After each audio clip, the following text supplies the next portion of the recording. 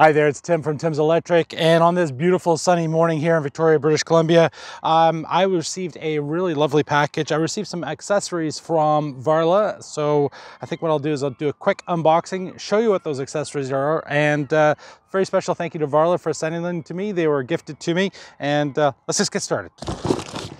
Now, I don't know how they managed to fit all this into this box, but they did. Um, so the first thing that I noticed is they shipped me two tires. They're off-road tires. They are uh, 255 by 80, um, 50 PSI, and yeah, they're really heavy duty. I think what I'm gonna do with these is um, I guess the rainy season here in Victoria kicks off in about November. So I think what I'll do is I'll swap these out in November and show you guys what the handling is like on the uh, on the Varla Eagle One. Um, so thank you for these.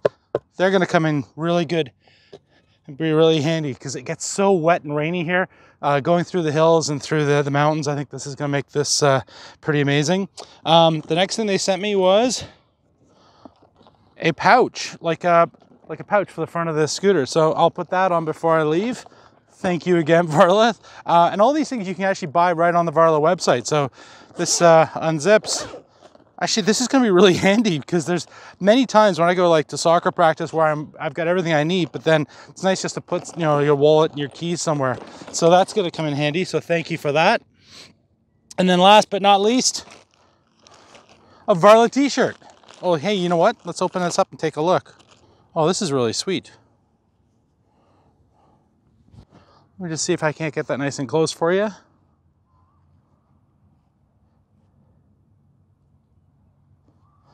Thank you so much, Varla, to uh, for shipping me the uh, the accessories. Uh, if you're interested in the accessories, I'll put a link down below. If you happen to have an Eagle One and you've purchased accessories before, which ones are your favorites? I'd be curious. Put those down in the comments. Like this video if you liked it. Thank you again to Varla. And uh, just a heads up on the Varla Eagle One. I did do a review. I'll put the video up here at the end of the video. I did a review of the video. Sorry, I did a review of the Varla after I think it was 350 miles. Um, I'm actually uh, just gone past 500 miles, so I'll probably wait till around the six or 700 mile mark. Um, you know, the thousand kilometer mark. I'm at 800 kilometers right now, 860. I'll do another update then as to uh, what it's like after that many kilometers or that many miles, and just basically give you an idea of you know what's wearing out, uh, what needs to be adjusted. You know, are there any problems? Um, right now, real short video, nothing, absolutely nothing. I had one little screw here that had to be tightened up, and that's it so far. So Awesome machine. Thanks again. Talk to you soon. As I said, always be safe. Wear a helmet.